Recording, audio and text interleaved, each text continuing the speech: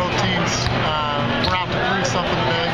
Uh, Morningside's an awesome team, uh, great players, and, and, their style of play is really fun, um, especially when it's matched with a team like, like us the way that we play.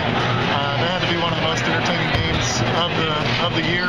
Uh, so it proved to be the game of the week. Yeah, no doubt about it. I had a blast doing it. So uh, talk to me about the game plan going in. You played them obviously once before. You got enough uh, scouting tape on them and whatnot. What were some of your goals going into the game, and how well did you do uh, you know, versus those goals? The biggest key is just being able to take care of the ball against a team like that. Um, first half, we only had five turnovers, and that, that's what got us the lead. Um, and then again in the second half, we, we took care of the ball, knocked down some open shots, and you could you could see like the game change when we did start turning the ball over. That's when Morningside climbed back in, cut it to two.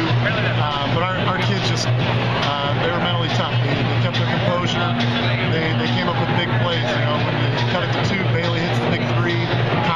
right back, hits another three to extend the lead. It's, it's big time basketball there.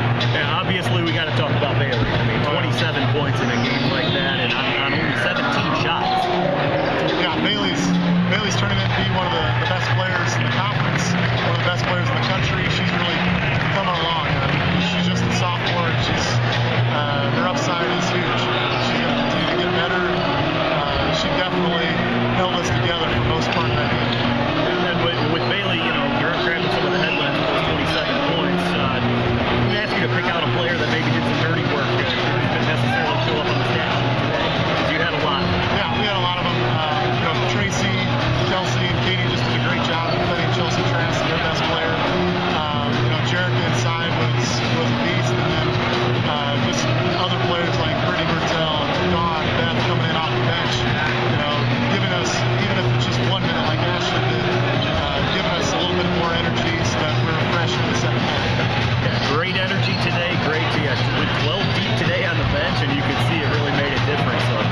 by everybody today. What are we looking forward to now, Coach?